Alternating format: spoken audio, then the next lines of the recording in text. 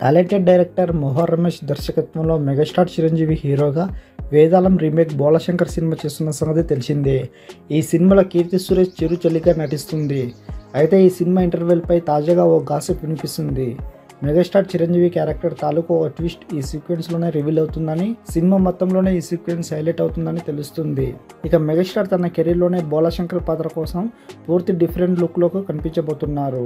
ఆ మధ్య చిరు కొత్త లుక్ కూడా సోషల్ మీడియాలో బాగా వైరల్ అయింది. ఆ లుక్ సినిమాలోనిదంట.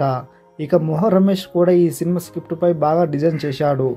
కథలోని మెయిన్ ఎమోషన్లు అన్నీ అద్భుతంగా వచ్చాయంట. ఎంతైనా హీరోలను స్టైలిష్గా చూపించడంలో మోహన్ రమేష్కి మంచి టాలెంట్ ఉంది. మరి మెగాస్టార్ చిరంజీవిని మోహన్ రమేష్ ఎంత కొత్తగా చూపిస్తాడో చూడాలి. మరిన్ని అప్డేట్స్ కోసం మన ఛానల్ని సబ్స్క్రైబ్ చేసుకోండి.